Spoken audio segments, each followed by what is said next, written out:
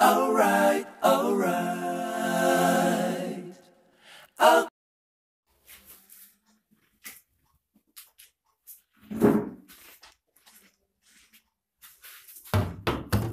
Welcome back friends आज आपके सामने मैं न्यू वीडियो लेके आया हूँ और ये वीडियो मेरा बायोकेमिस्ट्री से रिलेटेड है और आज हम करेंगे ग्लाइकोलाइसिस और ग्लाइकोलाइसिस इसको हम ई एम पी साइकिल भी कहते हैं और ई एम पी पाथवे और दोस्तों ई एम पी क्यों कहते हैं? इसके जो तीन साइंटिस्ट हैं इम्बेडल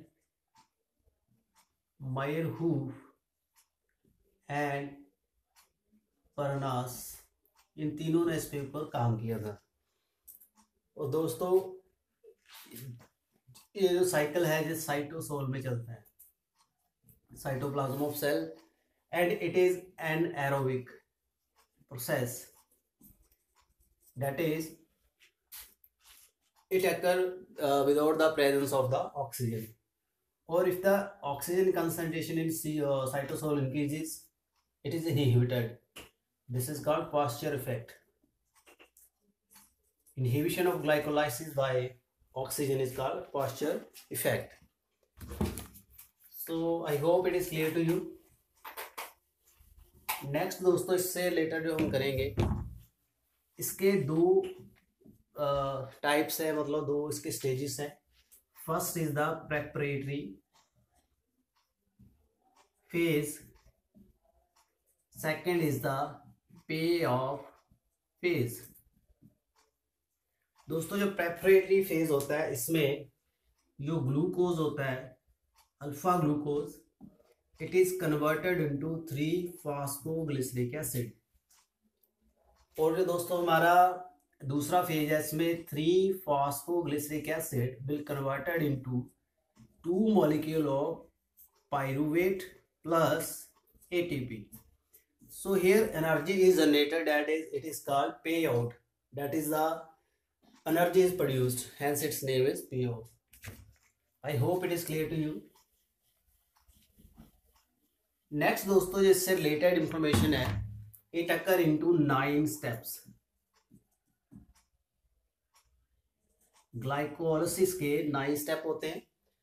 और दोस्तों, इसमें जो इन्वॉल्व होता है is alpha glucose alpha glucose is readily absorbable inside and outside the cell membrane first target here is to lock it it तो फ़र्स्ट जो हमारा रिएक्शन होता है, अगर हम इसको देखें ग्लाइकोलाइसिस में जो फ़र्स्ट प्रोसेस चलता है that is the phosphorylation phosphorylation में क्या होता है? ATP is used converted into ADP and glucose six phosphate is produce and glucose six phosphate is not permeable through the plasma membrane so it is locked so it is act as a locking device i hope it is clear to you.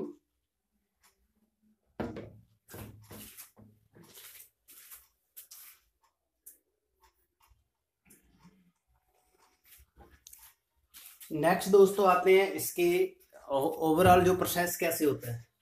चलिए अब हम उसको करेंगे। मुझे उम्मीद आपको इसका introductory part clear हो चुका है। तो फ़र्स्ट यहाँ पे क्या होगा? Glucose that is alpha glucose come from the outside. And here it is phosphorylated. First step is the phosphorylation. First step it is done by ATP converted to ADP and here we have glucose 6 phosphate is produced. And here the enzyme that help in it is the hexokinase. Hexokinase दोस्तों, जो enzyme होता है, वो इसमें help करता है। और glucose six phosphate is six carbon sugar and जो नेक्स्ट इसका स्टेप आता है that is the isomerisation mechanism और isomerisation here glucose six phosphate is converted into fructose six phosphate this is the second step that is isomerization and it is done by the phosphoglucoisomerase enzyme इसका है phosphoglucoisomerase मुझे उम्मीद है आपको दोस्तों ये समझ आ चुका है ये थे इसके जो फ़र्स्ट दो स्टेप हैं आगे इसका दोस्तों हमारे पास थर्ड स्टेप आता है that is again it is phosphorylated यहाँ पे एक और एटीपी यूज़ होगा converted into ADP and here we have fructose one six diphosphate ये हमारा तीसरा स्टेप है, इसको हम फास्फोराइलेशन कहते हैं। फास्फोराइलेशन क्योंकि यहाँ पे फॉस्फेट ऐड हो रहा है। यहाँ पे दोस्तों नेक्स्ट स्टेप हमारा आता है क्लीवेज इस टाइम यहाँ पे होगी क्लीवेज फोर स्टेप में cleavage and this six carbon compound no in step four that is cleavage will converted into two molecule first here will be dihydroxy acetone phosphate और यहाँ आएगा three phosphoglyceric sorry three phosphoglyceraldehyde और three PGA तो यहाँ पे दो product बनते हैं। और आगे यहाँ पे दोस्तों जो स्टेप आता है साथ में इक्लीबियम मेंटेन हो जाता है इस लाइसिस में। तो यहाँ जो लाइसिस हो रही है फ्रैक्टोसिक्स डाई सिक्स फॉस्फेट की दो कंपाउंड में हुई है। इसको डी एच ए पी भी कहते हैं। ये भी थ्री कार्बन कंपाउंड है। ये भी हमारा थ्री कार्बन कंपाउंड है। पर बेसिकली होता है क्या है? जो प्रीडोमिनेट यहाँ करता है up to ninety five percent D H A P होता है और ये नेग्लिजिबल अमाउंट में बनता है। बट ये इसका हम फॉरवर्ड रेट देखें तो ज़्यादा ये बनता है। तो हम यहाँ पे मान लेते हैं दोस्तों, हमारे पास फास्फोग्लिसरिक ग्लिसरल्डिहाइड थ्री फास्फेट के दो मोलिक्यूल बनते हैं। जहाँ से आगे जो साइकिल चलेगा, वो ट्वाइस टाइम चलेगा। जितने मोलिक्यूल बनेंगे, वो दो टाइम बनेंगे। उम्मीद है दोस्तों जी आपको समझ आ चुका है।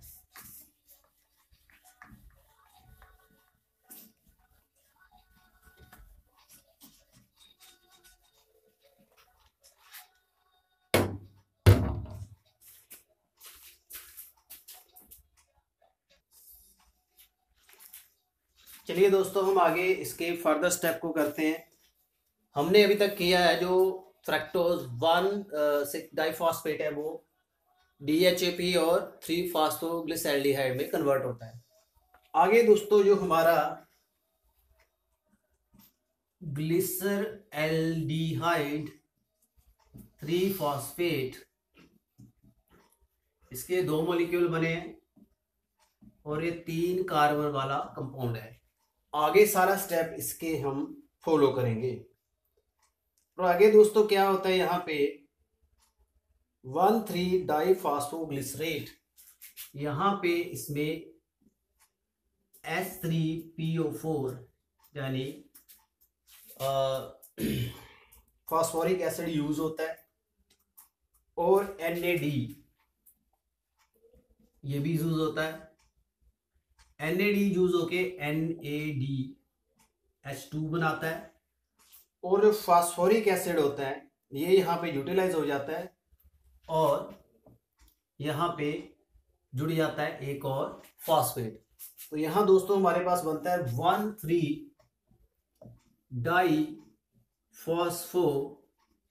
diphosphoglycerate one three diphosphoglycerate तो दोस्तों, यहाँ जो हमारा बनता है, ये भी थ्री कार्बन का है और इसके दो मॉलिक्यूल बनते हैं।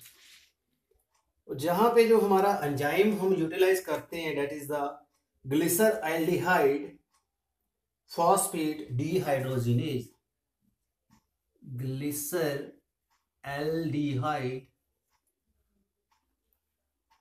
three phosphate dehydrogenase जहाँ पे दोस्तों क्या हो रहा है, एक तो फॉस्फोराइलेशन हो रही है, यानी फॉस्फेट फास्फोरिक एसिड का यहाँ यूटिलाइज हो रहा है, और यहाँ पे दोस्तों इसमें से ग्लिसर एल्डिहाइड टी फॉस्फेट से हाइड्रोजन बाहर निकल रही है it mean it is dehydrogenation reaction combined form में हो रही है, यानी फॉस्फोराइलेशन भी हो रही है और डिहाइड्रोजिनेशन भी हो रही है।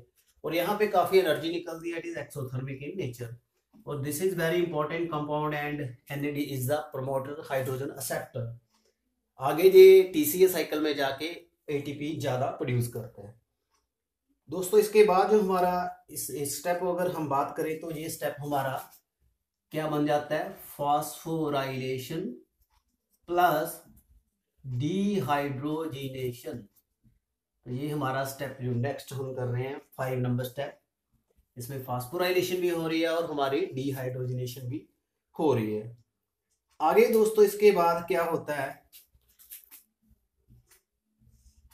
अब यहाँ से फॉस्फेट रिमूव होगा, यानी एडीपी जो होगा it will converted into ATP and one three di phosphoglycerate will converted into the three phosphoglycerate phosphoglycerate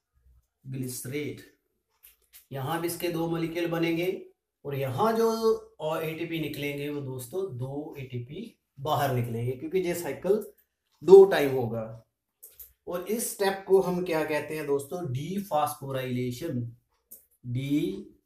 dephosphorylation step number six तो दोस्तों, यहाँ तक मुझे उम्मीद आपको समझ आ चुका है। डी फास्फोराइलेशन में क्या बना? वन थ्री डाई फास्फोग्लिसरेट का थ्री फास्फोग्लिसरेट बना है। ब्लैक बोर्ड में जगह थोड़ी कम है। आई होप आप इससे एडजस्ट करोगे। आगे दोस्तों, हमने अब क्या बना लिया? थ्री फास्फो ग्लिसरेट के दो मोलिक्यूल अब आगे क्या होगा दोस्तों? जहाँ पे रीअरेंजमेंट रिएक्शन होता है। रीअरेंजमेंट रीअरेंजमेंट जब दोस्तों होगा, जहाँ पे बनेगा two phosphoglycerate two phosphoglycerate और यहाँ पे जो हमारा एंजाइम एक्शन कर रहा है that is a phosphoglycerase mutase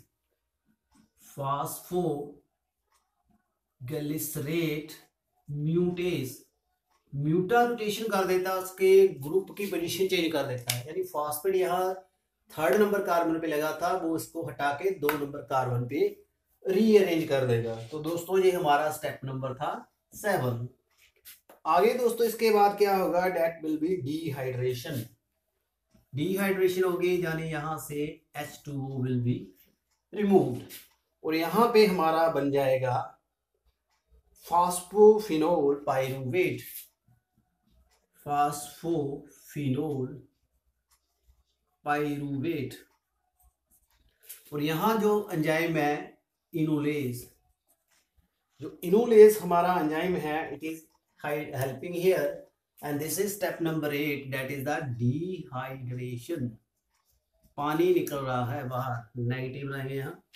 तो यहाँ हमारा दोस्तों क्या बन गया स्टेप नंबर एट में? Phosphoenol pyruvate. आगे दोस्तों जो हमारा लास्ट स्टेप है, इसमें दो मॉलिक्यूल जो बने हैं फॉस्फोफिनोल पायरुवेट के दो molecule it will convert into the pyruvate pyruvate में दोस्तों कैसे बनेगा ये? सीधा यहाँ से हमारा एटीपी निकलना चाहिए। फास्फोट फास्फेट जुड़ना चाहिए तो यहाँ ADP will converted into ATP यानी यहाँ भी दो एटीपी बनेंगे। तो दोस्तों, ये लास्ट स्टेप है। इसका नाम है dephosphorylation step number nine हमारा जो डिज़ायर प्रोडक्ट था that is a pyruvate it is formed here तो दोस्तों, ये सारा था इससे रिलेटेड मुझे उम्मीद आपको ये समझ आ चुका है। मेरा जो वे है आपको समझ आया होगा करवाने का। आगे दोस्तों हम यहाँ बात करते हैं इसकी जो जील्ड निकलती है एटीपी कितने बनते हैं, वो हम यहाँ पे करेंगे। दोस्तों यहाँ अगर हम स्टेप की बात करें, जब हमारा ग्लूकोज से ग्लूकोज सिक्स फॉस्फेट बना तो यहाँ हमने एक एटीपी कंज्यूम किया। उसके बाद जब fructose six phosphate fructose one six phosphate बना, फिर हमने एक एटीपी यूज़ किया। ठीक है दोस्तों? अब दोस्तों हमारे पास एटीपी कब बना? जब हमारा one three diphosphoglycerate three phosphoglycerate में कन्वर्ट हुआ तो हमारे वहाँ दो एटीपी बने। दो। ये बाहर निकले हैं, इसका नेगेटिव लिख देंगे। ये हमने बनाए। और दोस्तों, जब हमारा फास्फोफिनोल पायरुवेट पायरुवेट में बना तो फिर भी हमारे दो एटीपी बने। यानी दोस्तों, यहाँ हम अगर देखें तो हमारे एटीपी जो कंज्यूम हुए हैं, दे वर टू, और जो हमारे प्रोड्यूस हुए हैं, दे वर फोर। दो लगाए, चार पैदा हो गए। तो हमारा नेट क्या बना दोस्तों? दो। तो अगर कॉम्पिटिटिव में आपसे को पूछे ग्लाइकोलाइसिस में कितने एटीपी बनते हैं तो आपका आंसर होगा दो। पर दोस्तों, यहाँ एक और कंफ्यूजिंग बात है। यहाँ पे N A D H two के दो मॉलिक्यूल भी बनते हैं। और हम अच्छी तरह से जानते हैं, एक N A D H two molecule तीन एटीपी बनाता है। तो यहाँ ये बनाएँगे six ATP what only in the E T C chain E T C chain में जब इंट्रोड्यूस होंगे तो ग्लाइकोलाइसिस की जो एंड में आउटपुट होगी that will be six plus two that is the eight ATP तो दोस्तों, ये था ग्लाइकोलाइसिस के बारे में। हमने इसकी आपको इंट्रोडक्शन भी कराई, इसकी आउटपुट भी करवाई, इसके स्टेप भी करवाए। दोस्तों, मुझे उम्मीद आपको ये मेरा वीडियो पसंद आएगा। आगे दोस्तों, इसका हम यूजेस पढ़ते हैं। इसका क्या फ़ायदा होता है? फ़र्स्ट ऑफ़ ऑल दोस्तों, ये इमीडिएटली एनर्जी प्रोवाइड करता है। और ये न्यू बॉर्न बेबी जो होते हैं, उनमें काफ़ी एनर्जी पैदा करता है एमरजेंसी कंडीशन में। जब डिलीवरी में मेटाबॉलिज्म आपका स्टार्ट नहीं होता अच्छे से तो हमारा ये ग्लाइकोलाइसिस काम करता है, क्योंकि वहाँ एनरोबिक कंडीशन होती है लंग्स आपके काम नहीं करते माइटोकॉन्ड्रिया इतनी फंक्शनैलिटी शो नहीं करते। तो दोस्तों this was all about the glycolysis if you like this video subscribe my channel and share this video I will keep continuing uploading my video for you. Thank you very much and stay blessed.